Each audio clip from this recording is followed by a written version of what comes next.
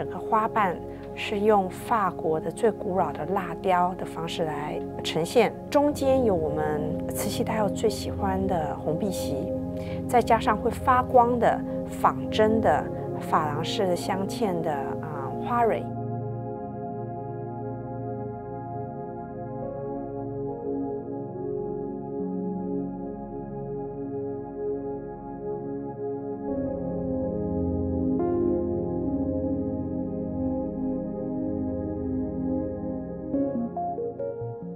六岁的时候，他们弄一个小小的音乐教室，让我可以启蒙。然后有一些小小的打击乐器啦，或小钢琴啦。那隔壁就是一个钻石的采购的桌子，上面有各式各样我爸爸从纽约在 Diamond District 带回来的这些批发的，嗯，钻石，就是已经耳濡目染的陪着爸爸在看这些亮晶晶的宝石。我的童年是也没有芭比娃娃，我真的不记得有芭比娃娃。然后也没有什么 Lego，我妈妈有一点比较执着，就只有音乐乐器跟钻石，这就占据我整个童年。受伤以后没有办法达到那个境界，可以当独奏家，那我也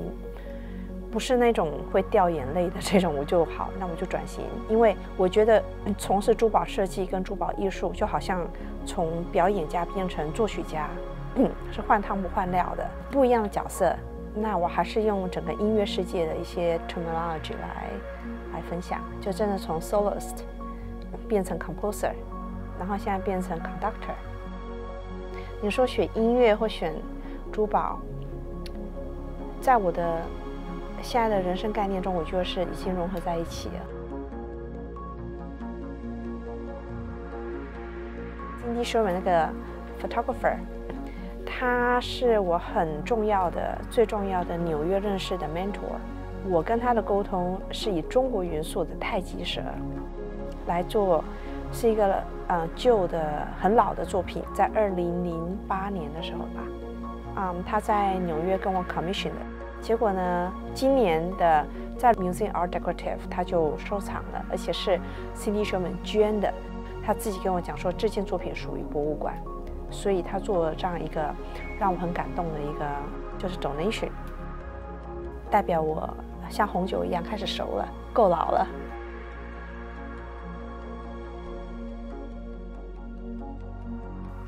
从事珠宝行业就是要有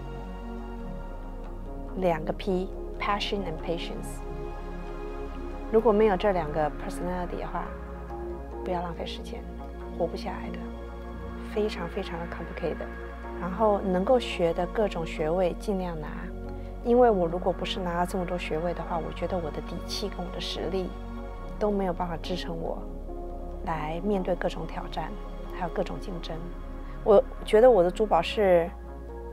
不只是 gifting，是 cultural exchange 的一个，嗯，很有寓意的一个 symbol，像传家宝一样。当然，好莱坞的这些红毯明星非常喜欢我的珠宝。